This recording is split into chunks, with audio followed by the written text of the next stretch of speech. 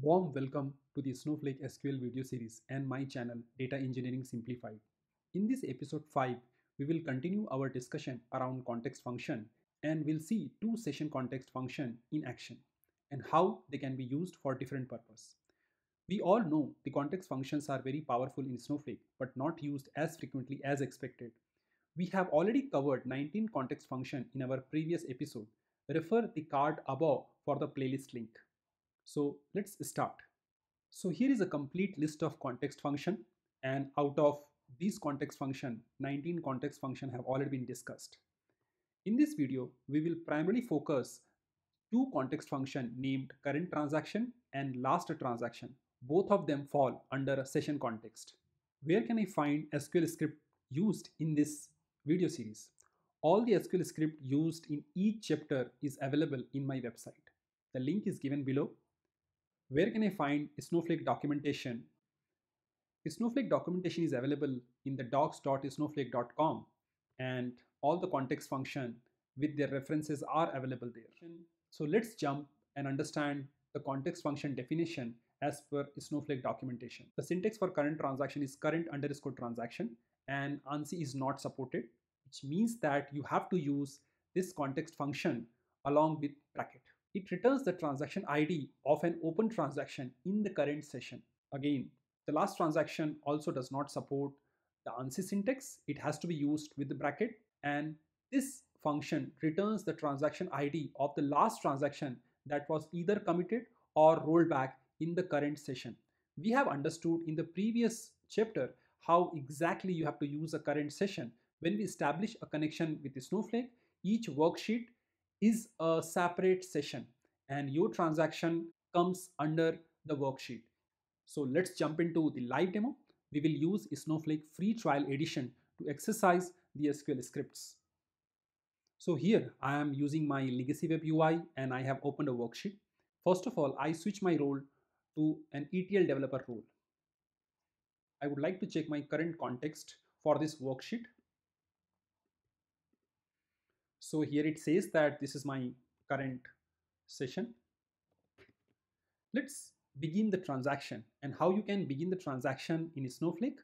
You can write the keyword called begin followed by the word transaction. Alternatively, you can also use the word work followed by the name and you have to keep the name of the transaction. Now I am starting a transaction here. Let me create a simple table and I would like to drop the table first just to make sure that the table doesn't exist. I have created a table called tx1.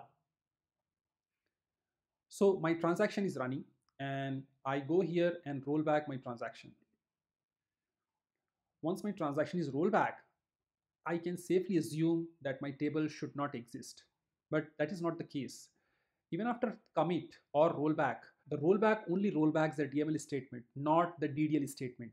So when I run this statement, it still shows me the table.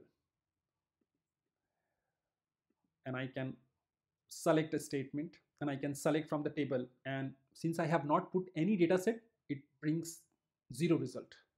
So let's insert a record within a transaction. And I would like to show how the transaction work in Snowflake before I really jump into those context functions.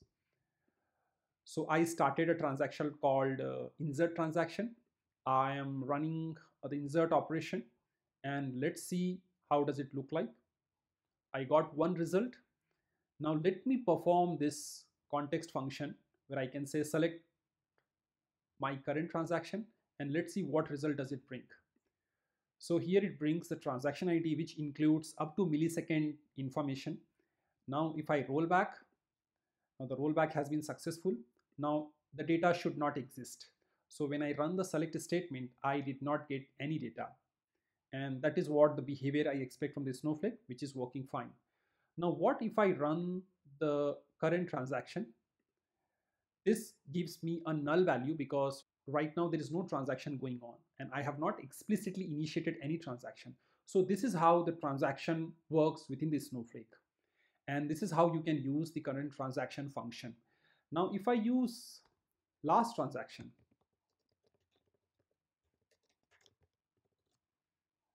Let's see what result does it bring. So it brought the result, the last transaction. So this is how this two context function works. If you have not started any transaction explicitly, the current transaction always return null value.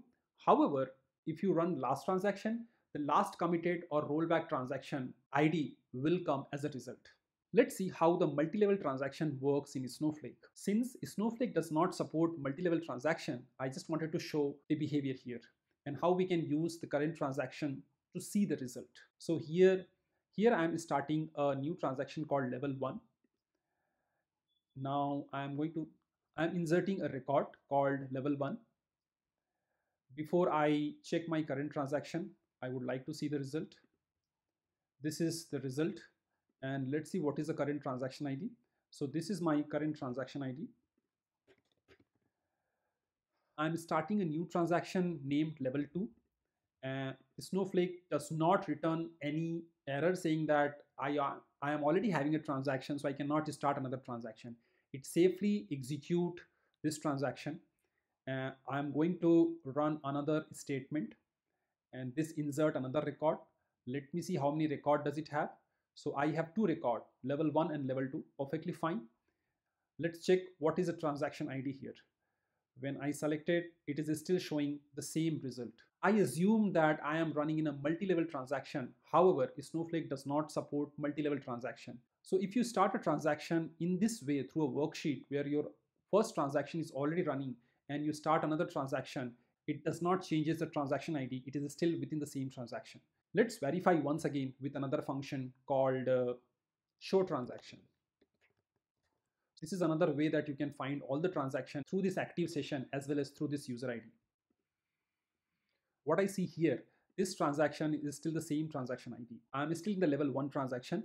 My statement begin transaction level two really did not do anything for me. So this is one of the specific behavior you can see within the Snowflake. However, if you are using the stored procedures, that behavior is very different and I'm going to capture that behavior in a different video. Let's roll back this transaction. And now if I try to run this command, so you see my transaction is null. If I run this statement, I can see that this transaction is matching with this transaction. However, my current transaction is null. We have seen show transaction. Now there is no transaction running. You can see that I do not get any result. If I have a write privileges, I can still check all the transaction within my account. If the transaction has acquired any lock, I can run this show locks and fetch all the locks which are currently active within the session. If you have to list all the transaction, you can use the show transaction and this will list all the active transaction. This command can be used to show transaction for the current user or all the user in the account according to your privileges. What if you have to really do something more using this show transaction? You can use the result scan table. For that, let me start a transaction first. So I started this transaction again and I am inserting a record here again just to make sure that this transaction is running and yeah I can see the transaction is running now I perform show transaction command I'm going to run it using the result scan and refer the description section to see how the result scan and last query ID works. So this is how the result comes. If, if I'm using the result scan function, which translate my result into a table. So if I started a transaction, can any other user see my transaction? Let's also try that. Before I start checking uh, the transaction, I would like to see if any transactions are running. So no, no transactions are running. When I say show transactions, okay. Uh, so there is no transaction. I start a transaction called TX visibility and I run show transaction. Yes, I can see TX visibility. So here I'm starting a transaction called demo TX. I ran that transaction. This transaction is running perfectly fine. I go to my previous worksheet and here I again run show transaction and here is the result. I can see two transactions. One is called transaction TX visibility. Another is called demo TX. This demo TX is running from the other worksheet and transaction visibility is running from this worksheet. The association of the session. So this is how the session and the transaction works under each other. I would like to verify if my transaction is visible to other user. So here I logged in with a user called read-only user uh, and let me run show transaction command. Show transaction command does not need any warehouse, so I don't get any result because this is a completely different user. So my transaction is completely isolated.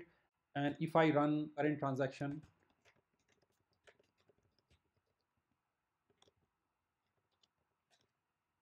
so I got a null. Now I can come here and I can safely commit and let's validate the result again. So I got all my record and which is perfectly fine. So we have seen how the current transaction and the last transaction really works. Now the question is that how can I use it? Let's look into the session views and query history views which we have seen in our first episode. As you know, to see the account usage database, I have to switch my role to the account admin. Now I switch my role to the account admin, I go to the account usage schema and here I try to see the session tables. So when I go to the session table and preview the data, I don't see any field which talks about the transaction ID. At the same time, transactions are applicable at query level, right? So if I go to the query history, so let's go to the query history. So if I look into the query history, it also does not have any field called transaction. It only has a field called transaction block time. And let me show that. So this is called transaction block time. Other than that, in the entire views under the account usage schema, you will not find transaction ID. So how can I use the transaction ID if I have two analyze at later point of time? And in that case, this to function comes handy where you can really use a current transaction and the last transaction whenever you are building an ETL solution using stored procedure or any other mechanism. I hope this information will help you to build a right use case for your data solution. Thank you for watching this series. For those of you who are visiting my channel first time, I request you to subscribe to my channel if you haven't already and press the bell icon to get the notifications. If this content is meaningful and helping you in your day-to-day -day work, press the like button and also share your feedback via comment section. And yes, before you leave, if you are benefiting from any of my content, I would love to hear about your success story. Please share your story in the link down below.